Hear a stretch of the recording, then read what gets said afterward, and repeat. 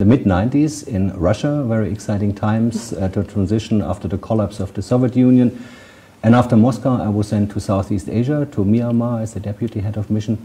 After that, I went to a different continent and went to New York uh, to our UN mission there, very exciting time when we were in the Security Council. Mm -hmm. um, after that, uh, I went as the deputy ambassador to Egypt. Wow. And then finally, I had a big wish, and that was to come to Ghana, to West Africa, because I had already, already uh, always a strong attachment to West Africa. I traveled this region uh, extensively uh, after my studies mm -hmm. in the late 80s and early 90s, and I always had the wish to come back here.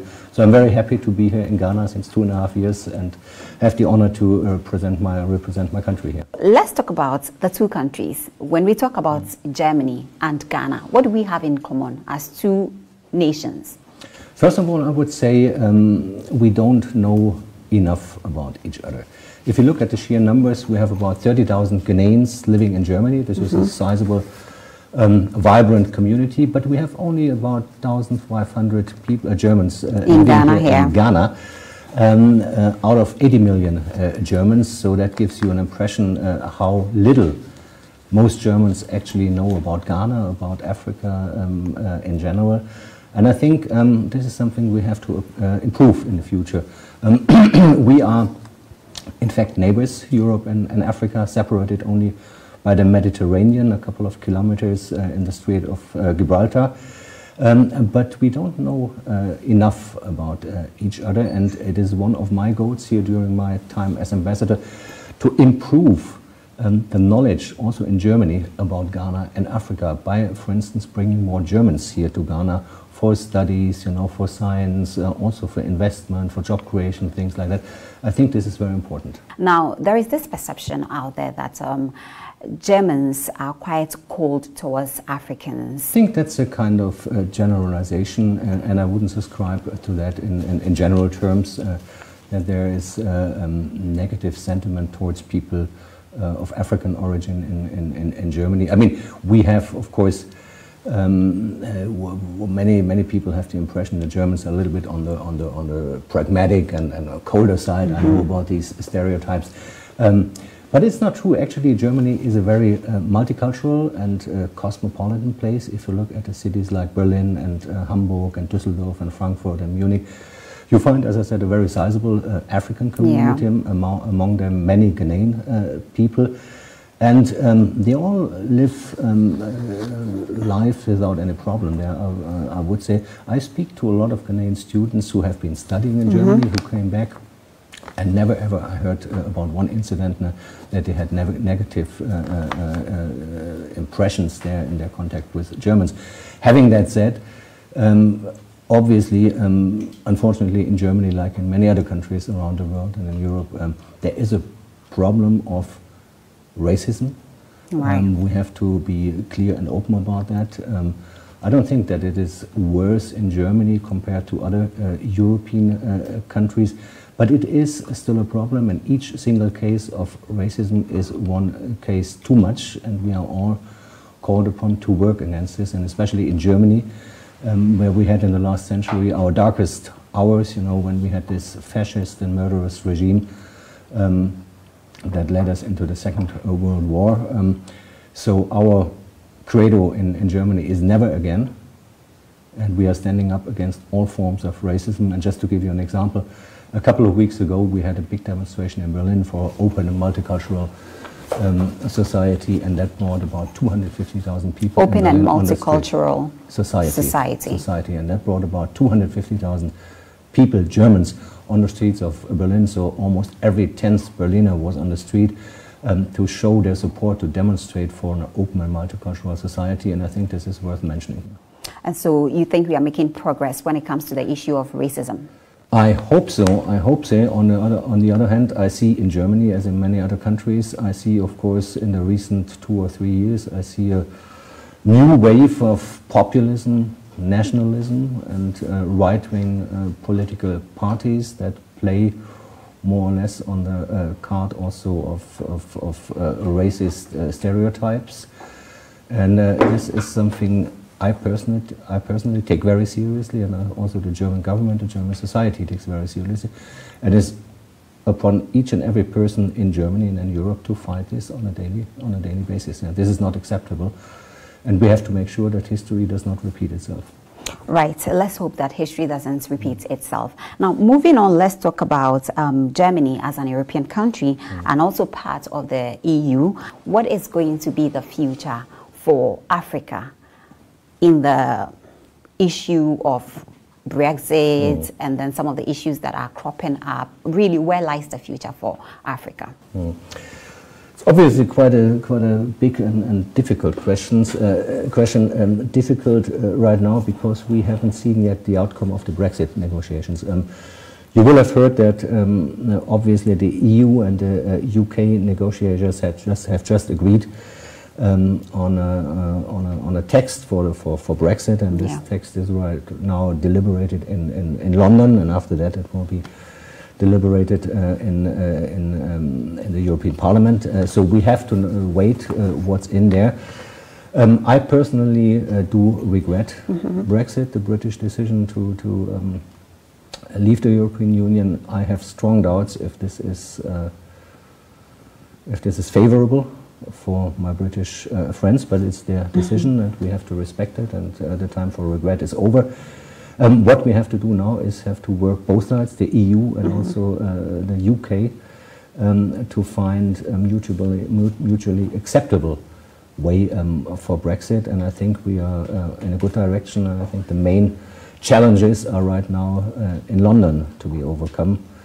Uh, what this all means for Africa is a question that uh, I would say the British colleagues have to answer first because the relations between the European Union and Africa and the European Union and Ghana will of course not be affected by the British decision. So it's upon the British side now to define or redefine um, their relationship um, with Ghana. Is Germany affected mm -hmm. by this move in any way? Of course, of course. Um, uh, the UK is one of our most important export markets uh, right. uh, in, in the world here.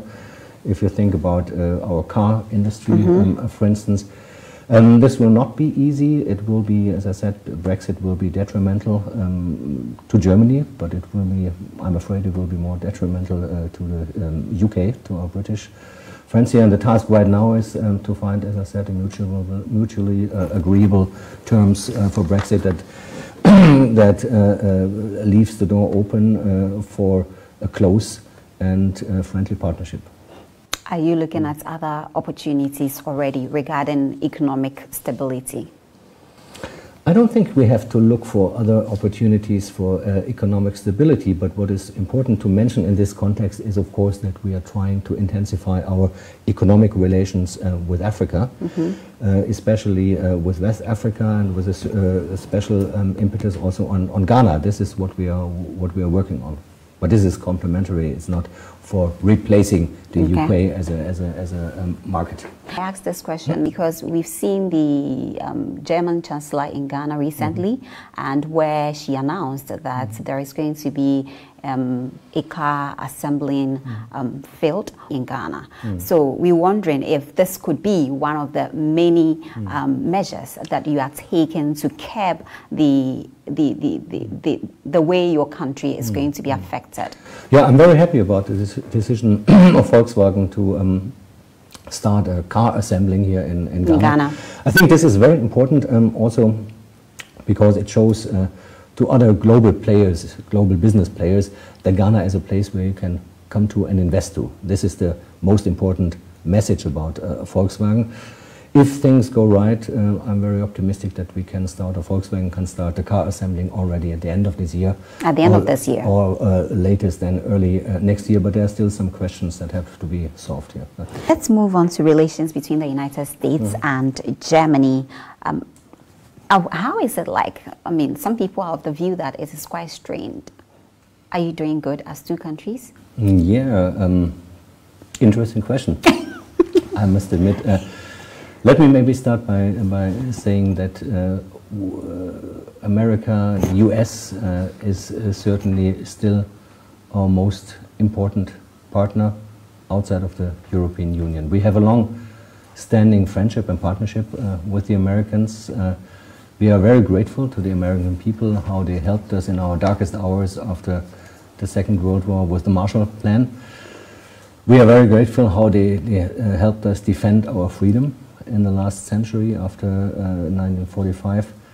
Uh, um, and we are also very grateful to the American people how they supported us in the German reunification process in 89 and 90 because without the consent of the uh, American people we would never have been able to achieve German unity.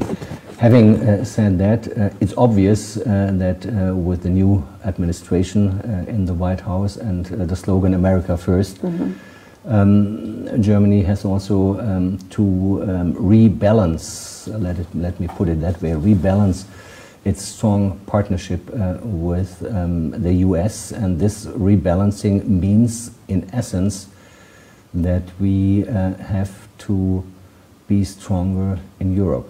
So Is it Germany first also? Not at all, not at all. We have never been in this category um, and we will never be in this category. We are strong believers in and supporters of uh, international cooperation and multilateralism because we are of the opinion that all uh, the pressing issues of the 21st century, mm -hmm. like climate change and terrorism and financial crisis, can only be solved uh, with international uh, cooperation um, here. That's why we want a stronger European Union. And this is the right answer.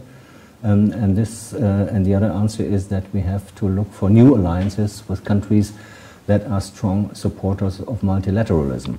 So this is the answer. But having said that, uh, I should also add that um, German-American relations are obviously not only government uh, relations. We have a strong, very strong cooperation and friendship also on the level of civil society. Mm -hmm. You will remember that in the last uh, century or 19th century, we had millions of Germany emigrating from Germany to the United States, so we have a sizable uh, part of the population in the US that has German origins. Um, we have very strong cooperation in the fields of uh, culture and uh, science and, and, and, arts, and this all makes our partnership and friendship unique. And as I said, um, the US will still remain uh, Germany's most important partner outside of the European Union. Let's talk about illegal migration. This has become an issue of global interest. It is a very delicate issue um, for, for both sides, and the situation as it is right now, uh, where we have so many uh, people from Africa trying to uh, illegally uh, migrate migrate uh, to the European uh, Union is a situation that is very bad for each and everybody, uh, especially for the people, for the migrants um, who pay thousands of euros or dollars to uh, go on this very dangerous journey through the yeah. Sahara, um, try to cross the Mediterranean. Many of them lose their lives. Those who don't lose their lives might probably end up in some internation camps in Libya or whatever under very inhumane conditions. Uh, we have all heard about it. Um, this is a situation uh, that um, is outrageous. Yeah. Uh, we have to end it. We have to find ways in our government cooperations, Africa and Europe, um, to come uh, to better management for migration. I mean, migration has been in the world uh, since uh, humans have been in the world. We have seen big waves of migrations in the last century, in the 19th century. Um, and it will be one of the major challenges of the 21st century, uh, certainly. And Africa, Europe um, will, of course, be uh, a, a, very important um, theater for this uh, migration here. What we have to do, and this could be maybe the solution, we could, we have to do more um, for what we call legal migration. Mm -hmm. We mm-hmm. have to make sure that more people from Africa mm -hmm. who want to study in Germany, who mm-hmm. want to work in Germany or in other European countries, are given the means and the ways to legally come to our countries, you know, and instead we have to try to diminish or reduce mm -hmm. the number of people who try to illegally come um, in, come come to Europe, because this is a situation um, that is really dangerous. A lot of European countries are calling for stiffer policies so that people are unable to enter their countries without the necessary documents. Um, do you think that this is a way that is going to cause so many people to begin to think that, okay, so African leaders are not mm. doing enough mm. in curbing the issue? Because that has more or less been the perception out there. It's a very complex issue, one of the most complexest issues uh, you can imagine in international politics right now. So there is no one size fits all solution and there's Yeah. no easy solution.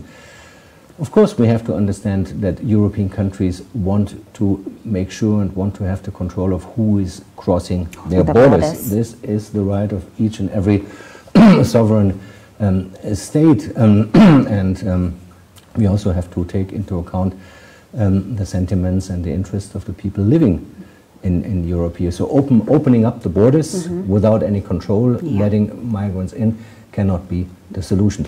I wouldn't go so far in saying that African governments are not cooperating enough. uh, um, we are cooperating. Co- we are cooperating quite uh, well, for instance, with the Ghanaian government on the issue of uh, migration and illegal um, uh, migration. Um, but as I said, I think we have to think bolder, and we have to come uh, to better uh, forms of cooperation to manage migration. But because it's obvious, you know, in the in the in the aging European countries, within the next 10, 20, 30 years, um, we need additional young people for our workforce. Right.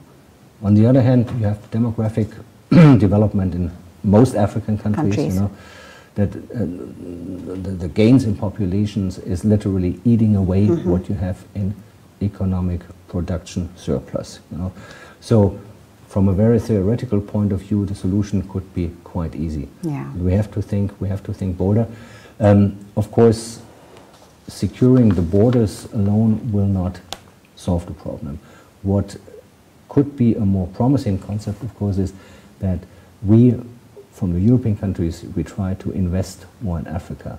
Invest in Africa to, um, to uh, produce jobs Yeah. and to give young people in The Africa the opportunity to also have a fulfilling and prosperous life here in Africa. All so right. that is certainly a very important keystone. Okay. Let's talk about um, the areas of cooperation between Ghana and Germany. How are we doing? What are the things we're doing together? Yeah, we have a very vibrant uh, friendship and partnership, uh, Ghana and Germany, since uh, 60 year, 61 years 61 now. years, 61 yes. years now. Last year we, we celebrated 60 years with Yes. a big uh, party at Goethe Institute. um, it's a very uh, strong partnership uh, based on the same values of democracy and, and human rights and multilateral cooperation. Um, and I'm happy to say that uh, the German-Ghanaian partnership is probably stronger than ever. Um, we had the German Chancellor, uh, Angela Merkel, here uh, in August. We had the German President, uh, Steinmeier, in uh, December 2017 here for a state visit.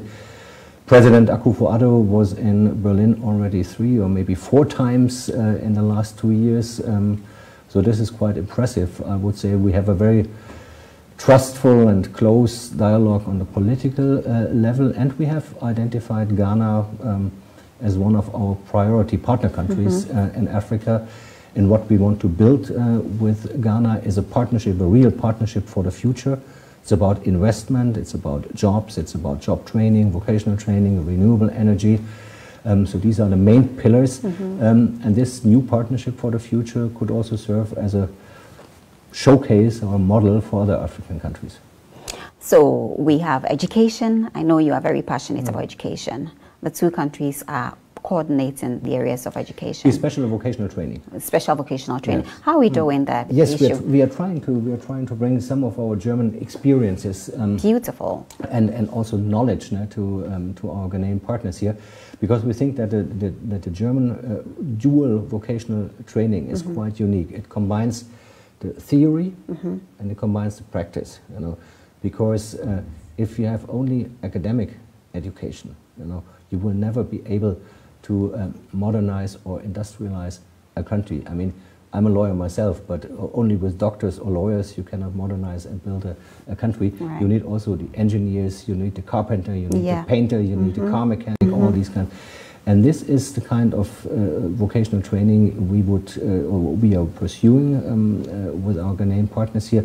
We have a strong partnership with the Ghanaian government on this. Um, the volume of our vocational training cooperation is about 30 million euros right now, and uh, we are looking at intensifying um, our cooperation here. And I'm quite uh, optimistic that this might be one of the um, building stones for a prosperous future of Ghana. Thank you very much for talking to us. Mm. We really appreciate it. We are very, Thank very grateful. Thank, Thank, you, you so much. much. Thank you very much. Okay. All right, so Good. this has been the interview segment on diplomatic affairs. We're taking a break. When we come back, the show continues. The 28th anniversary of the German reunification took place at the German ambassador's residence.